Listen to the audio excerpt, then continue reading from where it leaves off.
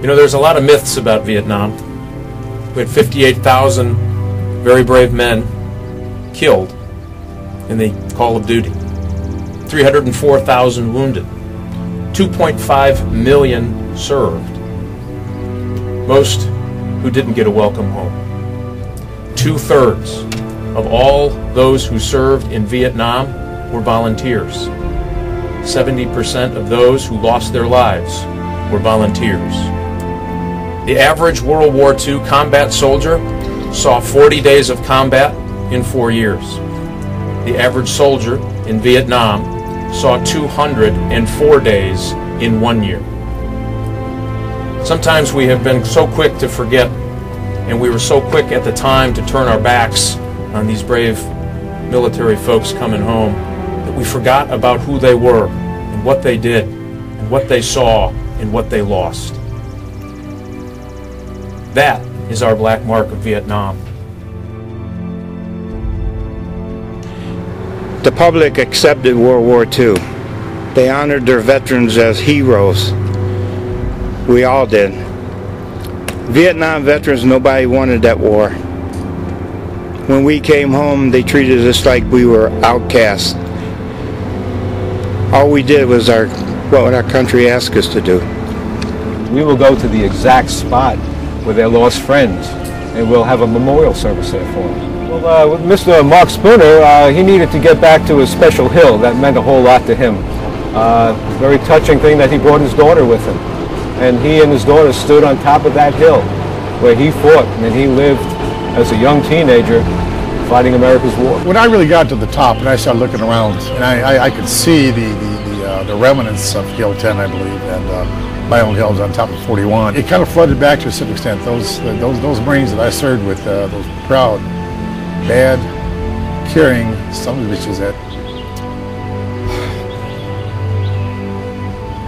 didn't make it back. Nobody will ever knew what we went through. Yeah,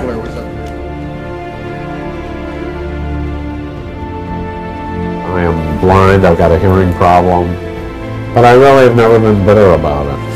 To sponsor a United Nations effort to take Kuwait back. I am a Vietnam veteran, very proud of it.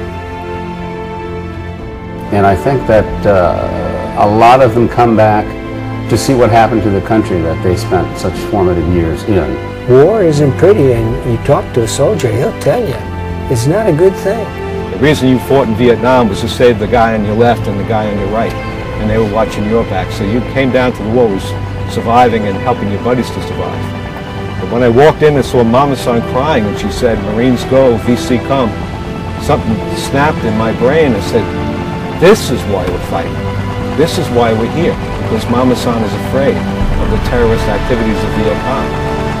And uh, so I volunteered to stay in country, and uh, I fought the rest of my war for Mama San. Agent Orange was a defoliant. It, it just killed all the greenery. And the whole idea was to move everything at least 100 yards back from the road. We had no idea that it was going to be dangerous. That later in life it would have this terrible effect on a good many who were in Vietnam. May of uh, 2009, I was diagnosed with stage 2 cancer, uh, an aggressive type, uh, one of the 10 or 11 that's recognized by the Veterans Administration as uh, service-connected for Agent Orange. We still have missing in action. And thankfully, over time, with cooperation from the Vietnamese government, we've been tracking down some of the remains of those uh, MIAs.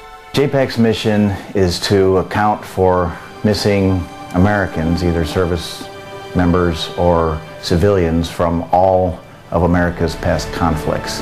When we are able to, to let a family member know that their loved one has been identified and we repatriate those remains to them, uh, it's the best feeling in the world. And um, when he said, we, we've identified your brother's remains, our, each of us in the family that was there gave a sigh and said, thank you, God. So we knew it was a miracle. I'm a Vietnam veteran and proud of it. I was the only guy in the barracks that had a portable record player that I carried with me wherever I went. I had these big old 33s from Ray Charles to the Rolling Stones or the Beatles or whatever. Music was, is, and will always be my salvation. But on the 19th of February, during Tet Offensive of 1968, um, our platoon was ambushed, and uh, 17 guys were either killed or wounded that day. Um, I was shot five times in about a 45 minute period. Um, Don Marshall, who was on the wall, came out and tied a tourniquet on my arm. That was one of my wounds, and Don was shot very shortly after that. Don's last words were, I don't think we're going to make it, but if you do, tell my mom I love her. Gary Albaheski kept saying, leave Cologne alone, he's dead. And I can remember being in a helicopter and wondering, how come I have no clothes on? You know, as it went on, I remember it was very dark. And I rolled off a pile of logs. This is the this is what I felt. I could not understand, you know, why was it dark and why did I roll off this pile of logs? And that happened two times. Um, and then a young lady uh, held up her hand and said, no, not yet. He explained that, you know, he had found me in the body bag, called Doc Lovey over, and Doc says, no, I've already checked him out, he's, he's gone. Do you get lonely sometimes because of the ones that have lost their lives? I'd say yes. I, I think I became pretty much a loner in life after Vietnam. Um, yeah, I think I'm got a lot of social skills and get along with people, but I like to be alone. And, and I think that's one thing that that changed me uh, from Vietnam. Um, a day doesn't go by that you can't start. You don't think of the Don Marshalls, the Sergeant Cafellas, and the Fullers, and you know the guys are on Panel 40 East. Um, the wall has a, a, very deep meaning, I think, to, to every Vietnam veteran. I, I've talked to veterans that absolutely won't come here or won't go to the rear wall at all because of the emotions that it brings back to them and the feelings. I'm looking at panel 40 East, and there's at least nine names of guys I served with. And to always be able to see their faces, they're always 18, 19, 20 years old. Uh, just to ever be that age, uh, always to be that age in my mind. Uh, they're still just as fresh as the last day time I saw them. When I first went to see the wall in Washington. I went there the day it was open. I was then in the State Department. Uh, that day, I wore my uniform.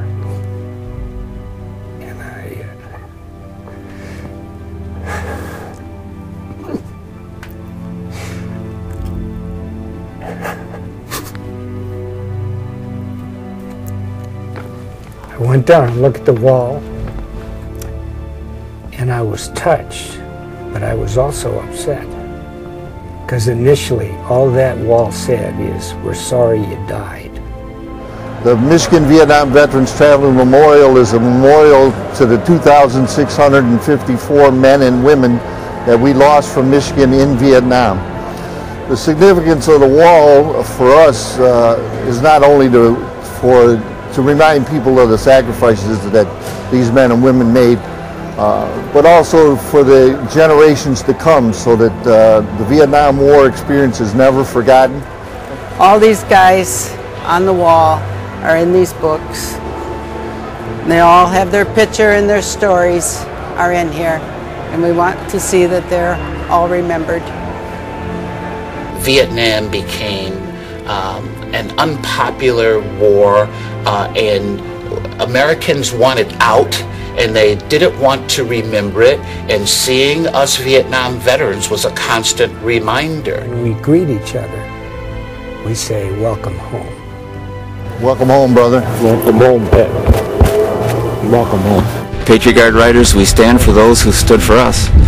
Escort them home, send them off, and we bury them.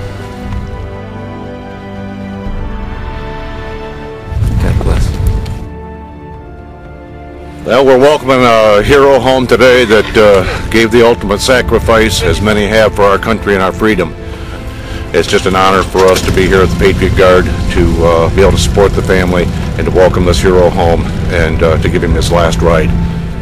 And in many ways, we are the bridge between the World War II veterans who are aging and now need help and care.